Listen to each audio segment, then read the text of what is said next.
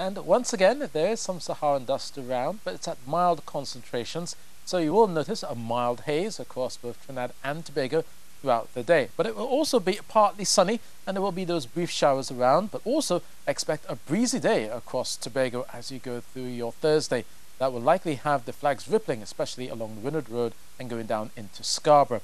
Similar conditions are expected for Trinidad through your Thursday. Generally sunny, but there will be that mild haze around. Breezy as well, especially along those eastern areas, and a brief shower coming through, especially first thing in the morning and then maybe towards the end of your afternoon and to start the evening. But overall, we're looking at fair skies across both Trinidad and Tobago through your Thursday.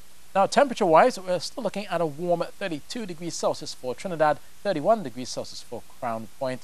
And if you are heading offshore, at least, or heading to the beaches to cool off, it's a moderate chop, uh, 2 meters in the Caribbean, 2.5 meters out in the Atlantic, but uh, closer to smooth conditions expected in the Gulf of Paria.